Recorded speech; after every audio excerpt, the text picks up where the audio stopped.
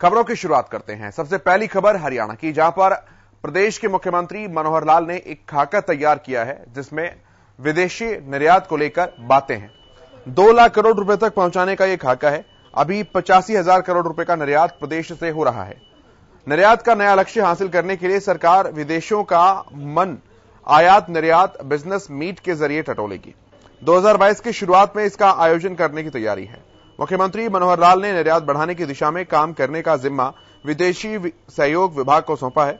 इसके बाद से ही विभाग के उच्चाधिकारी दूसरे देशों की वर्तमान सोच और मांग जानने में जुटे हैं। यूरोपियन और खाड़ी देशों के अलावा अरब देशों में और अधिक निर्यात करने के लिए बाजारों और जरूरतों का अध्ययन किया जा रहा है।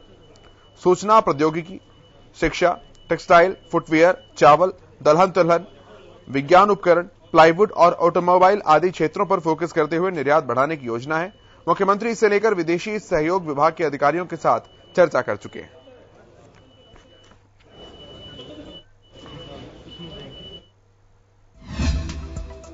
वर्तमान की स्थिति आपको बताएँ। बहादुरगढ़ से सालाना 2000 करोड़ का फुटवेयर विदेश जाता है। इसके अलावा सरकार ने इसे दोगुना करने का लक्ष्य जो है, वो अब रखा है। यमुनानगर से 400 करोड़ की प्लाई विदेशों में बेची जाती है। उसकी मांग है। सरकार ने इसे भी बढ़ाने का लक्ष्य रखा है। इसे बढ़ाने पर भी सरकार विचार कर रही है। इसके अलावा पानीपत से बारह हज़ार करोड़ का कपड़ा है, जो कि दूसरे देशों में जाकर बिकता है। सरकार इसे बारह हज़ार से बीस हज़ार करोड़ तक पहुँचाने का लक्ष्य रख रही है, पहुंचाना चाहती है।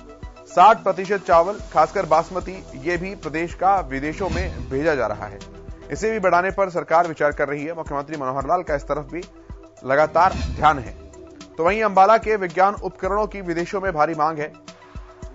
और इसी मांग का फ़ायदा उठाने के लिए सरकार यही चाहती है कि यहाँ से जितना ज़्यादा हो सके, उतना ज़्यादा प्रोडक्शन को बढ़ाया जाए।